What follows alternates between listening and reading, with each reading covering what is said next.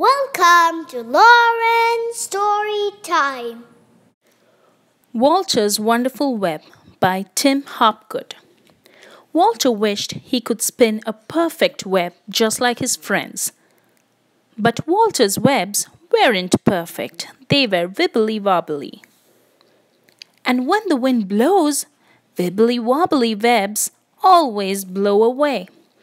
But Walter was determined, so one morning he decided to start with something simple.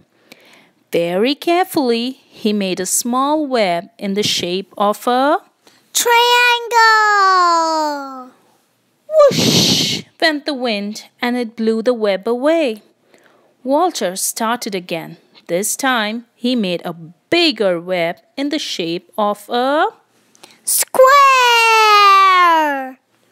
whoosh went the wind and it blew the web away. Walter sighed and started again. This time he made a longer web in the shape of a Rectangle!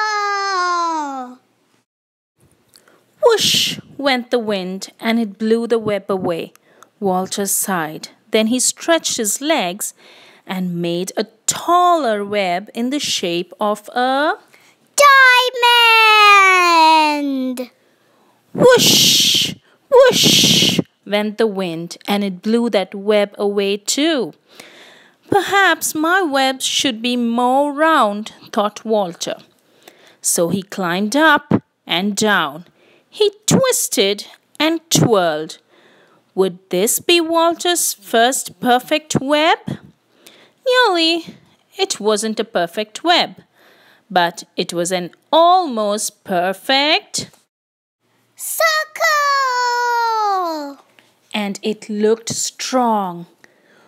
Whoosh, whoosh, whoosh went the wind. Poor Walter hit the ground with a bump. Walter was tired and upset. He felt like giving up. But as the sun went down, he thought about all the different shapes he had made.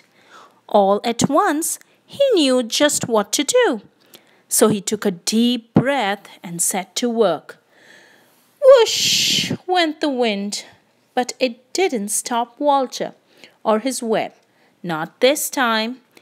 And as the stars came out, Walter's web shone in the moonlight. It was better than perfect. It was a truly wonderful web. The end.